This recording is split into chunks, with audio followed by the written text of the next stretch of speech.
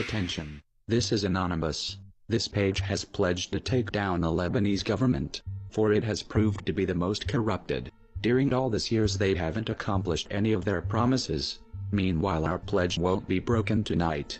We will reveal, expose, and uncover all the secrets, all the classified information that have protected the corrupt. So listen carefully and be amazed by the unexpected information that condemn people you thought were innocent.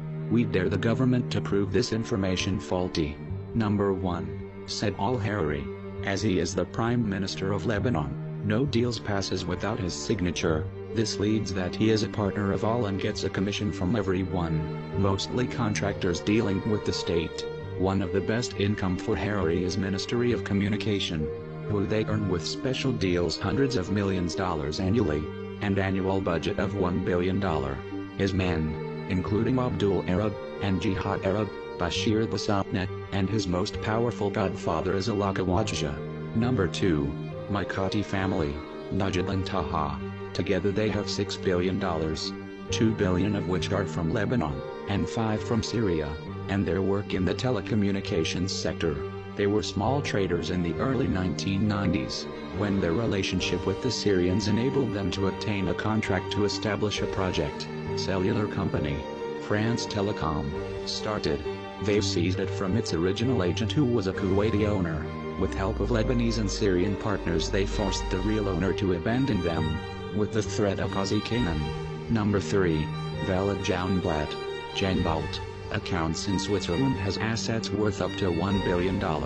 He is the largest landowner in Lebanon, after the Maronite Patriarchate and his possessions are enormous. And Jumblat, monopoly of gas trade, his partnership with Dol Zain, a Syrian naturalized Lebanese and gets commission $300,000 per month, just to use Jumblat power to leave Bustani, fuel exclusively.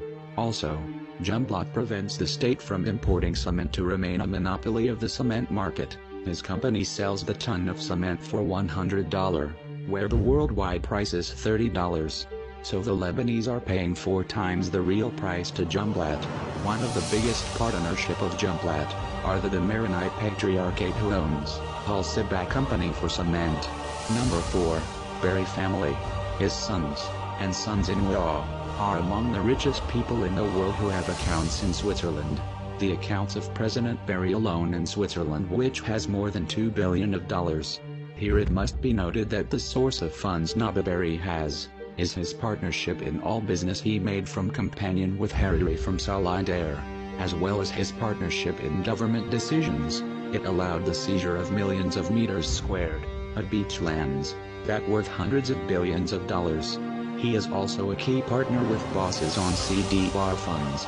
His brother Yasser Berri the second man in Council for Development and Reconstruction. It was this council that lost $1 billion on an infrastructure project. Nothing was done while the papers on the budget confirms the payment of $1 billion in St. Simon area, near the most beautiful Lebanon's beaches in Ramlet al Baida. Nabih Berri makes a lot of money from his control on legitimate companies in the port of Beirut. He also appointed one of his men as a director circuit tobacco, Nassif Saklawi. Number 5, Fetsanula. He took over 11 billions from the government, but it has not happened alone, but shared by Saad Hariri, Nabih and Suleiman Frangieh and Jumblat. Number 6, Nahid al-National He owns $300 million from citizenship decrees and selling cars plate numbers, and some unlimited variety deals. Number 7, Ghazi Aridi, he has $400 million in deals Beirut Port and Tripoli Port. He was paid 10% of all airport contractors. Number 7, Ghazi Zeaiter. He has $100 million in deals of Ministry of Works and Ministry of Agriculture.